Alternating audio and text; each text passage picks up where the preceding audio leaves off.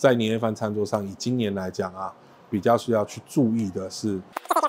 我们就是用刚刚几条，要不然一冲撞的话来讲，可能年夜饭餐桌饭还没有吃完就会被翻桌了哈。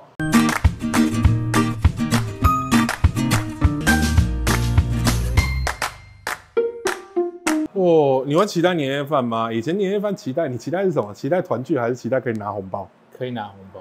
所以现在都是在发红包的状态，就会觉得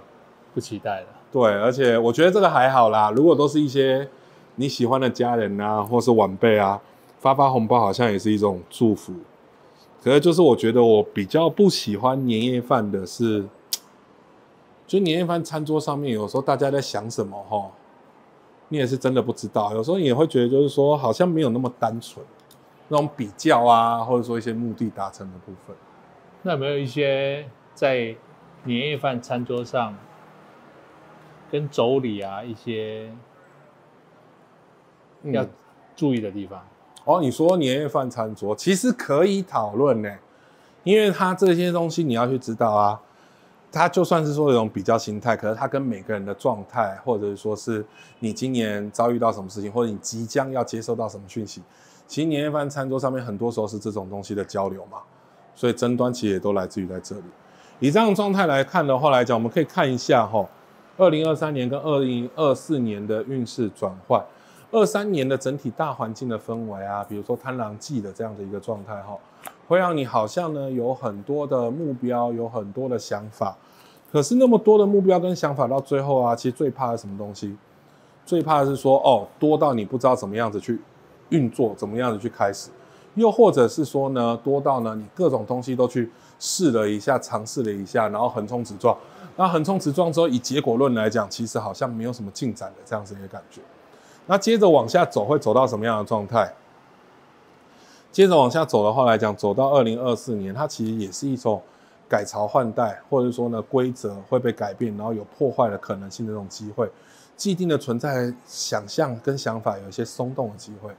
在结论到除夕夜，年夜饭通常在除夕嘛，在这两个交接的地方啊，有时候会有一种想要冲破的这种感觉，然后会觉得是说，那反正呢。期间限定的一种，比如说嘴秋啊，或者说彰显我自己过得很好啊，这是有可能的。因为在那一天的话来讲呢，天干的走向的话来讲，会有比如说天机化权的部分，这种对于自己的信念跟理想非常坚持的部分，那炼真化忌的部分，一种规则破坏，有时候只先追求当下那种爽感，或者说我想要彰显我自己过得比别人好这个事情。所以在年夜饭的餐桌的这种状态之上呢，其实我们可以从自己做起哈。不要过多的去打探别人的这种成就，这个是一个老生常谈。可在今年，特别是这样的关键，特别是说本来过得很风光，或者说是自己有企业在经营的，或者说手上呢感觉好像很运筹帷幄的状态，今年都到了一种突破的一种状态。所以呢，在年夜饭的餐桌之上啊，它比较明显的状态是什么？它是卡在两个年的交期之间嘛。那运势这种东西啊，它不会像电灯啊。或者说你插拔这个插头一样啊，插了就有电，拉了就没电，开灯就亮，关灯就暗，它一定会有一种衔接的过程。所以这一天的状态之下，它前后两年的气氛会在这一天呈现这种交结的状态。那你年夜饭餐桌上面很重要的什么东西呢？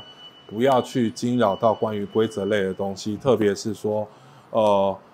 你要知道大环境的变迁嘛。那我们聊一些开心的事情啊，精神灵魂开心的事情啊，随和的事情啊。就不要去谈到说规范或者说探听别人底线的问题，因为这会激起别人自己的保护欲望嘛。我觉得我自己做的才是有道理的，特别是天机化学的部分，你自己也是一样。我们设身处地想，反过来别人这样问的时候，就算我自己对你自己有疑惑，可在当下那个状态之下，不管是面子问题或是任何的问题，我是不是也想要去捍卫我自己？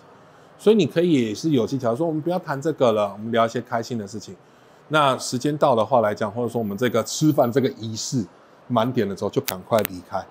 如果是你真的觉得不舒服的话，这是对自己、对别人多一些思考，多一些关怀，然后也多一些贴心的这个地方。然后在另外一个层面的状态之下呢，自己呢也不要好像带着刺，因为我们是讲说，在今年啊，准备要过去这一年啊，一整年的状态，也就是二零二三年的状态。大家呢常常会觉得说好像没有目标的状态，越没有目标，为什么？我就越想要证明说我做的事情好像我的选择是正确的，哪怕是说对自己有疑惑，可我在别人面前不能展现出这些事情来嘛。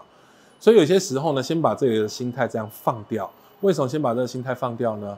因为啊，当你是有先入为主，想要去捍卫自己的心态，进入到这个场域的时候，其实人家是不是讲什么东西，你都觉得是带刺的。所以两件事情哈，先把这样子情绪放掉。另外一个方面呢，去注意到不要触及到，比如说人家在意的事情，因为那跟你没有关系嘛。简单的说，就是不是你的事情就不用管。然后第三件事情呢，如果真的发生这种冲突的事情，尽量把话题往那种风马牛不相及呀、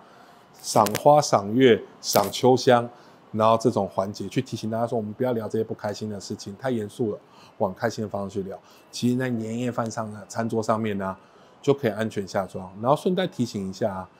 就是在年夜饭餐桌上，以今年来讲啊，比较需要去注意的是，呃，长辈，就是比如说爸爸或是妈妈掌上的这种关怀，有时候会让你觉得相对比较不舒服，你要去注意哈。我们就是用刚刚几条你，不要讲这不开心的事情，要不然一冲撞的话来讲。可能年夜饭餐桌饭还没有吃完就会被翻桌了哈，然后祝福大家呢新年行大运，也希望大家在年夜饭餐桌上面呢开心的下庄，享受这一个年假的期间，为新的一年储备新的体力哈。祝大家龙年行大运，是不是很老派？老派的最棒。